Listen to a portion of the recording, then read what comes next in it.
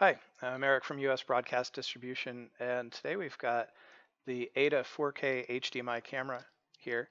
And on the back is uh, an HDMI output, um, an I.O. for power and RS-485 and other control, an iris to connect to the lens uh, if it's a controllable lens. Uh, on the front here we have a CS mount lens. Uh, in this case it's a 3.2 mil, but the, we'll take any CS or C mount lens. And what we're going to do today is we're going to connect it to an Inogeni HDMI to USB 3.0 converter, and we're going to try a little bit of 4K region of interest in vMix. Let's see how it goes. We have the camera hooked up uh, to vMix, and you can see it's got a really wide angle uh, lens on it. You can see a lot of the room behind me. And down here in vMix, what I'm going to do is I'm going to create a virtual input, and I'm going to zoom in on that input because we're bringing the camera in 4K, we can actually zoom in up to four times. And that allows us to create a region of interest that we can then zoom to using the merge function in vMix.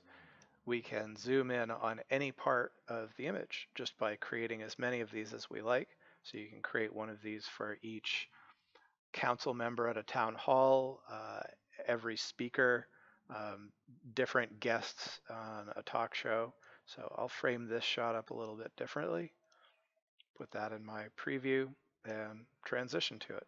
So I've created, I've got three different virtual positions that I can zoom to, just as if I was using a PTZ camera.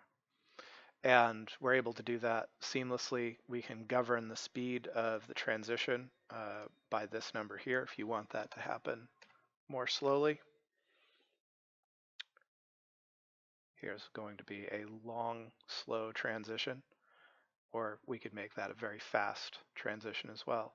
So that is using the new AIDA 4K camera to do region of interest in vMix, which is a very, very powerful function. And if you have any questions on the new 4K camera or using it with vMix, please feel free to reach out to US Broadcast Distribution or visit our Facebook page at facebook.com slash usbroadcast. Thanks.